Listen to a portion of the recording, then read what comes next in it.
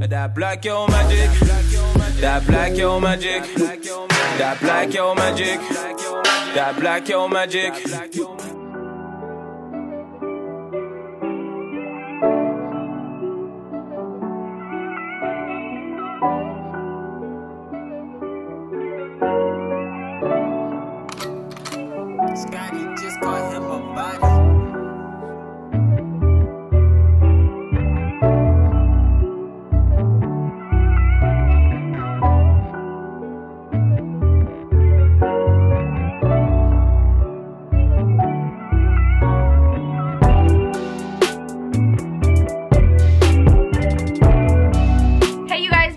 To another tutorial. It's your girl glow. For today's look we'll be using a wig that i received from Ali Pearl hair. We all know and love Ali Pearl. Um the wig that i'll be showing you guys today is a 26 inch number four chocolate brown straight lace front wig. The density is 180%. The lace material is a Swiss lace. It does come in different densities like 200, 250, but I got a 180 because you guys know I love 180 with like straight hair and it's a 13 by 4 lace front wig. So, so let's go ahead and open her up. So this is the packaging. It just says Ali Pearl hair. And when you open up this box you will find your wig in a plastic bag. You will also find some lashes a silk scarf another silk scarf a baby hair toothbrush. I love keeping these.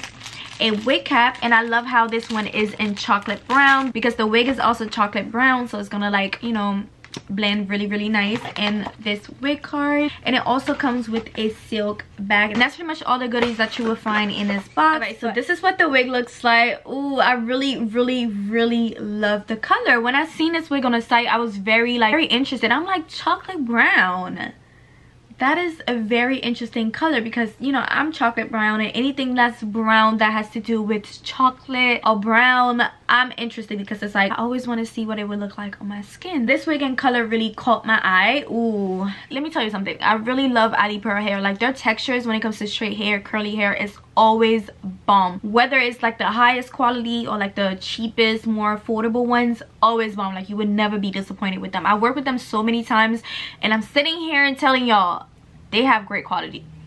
But anyways back to the wig. This is what the wig looks like. As you guys can see the color is giving very much chocolate brown. It's a nice pretty shiny brown. Like i've never had or tried a color like this. I'm like dying to see what it's gonna look like on me right now. Like I cannot wait to see what it's gonna look like. It is a 13 by 4 lace front wig. This is what the inside looks like. It does come with combs on each side, on the bottom, adjustable straps.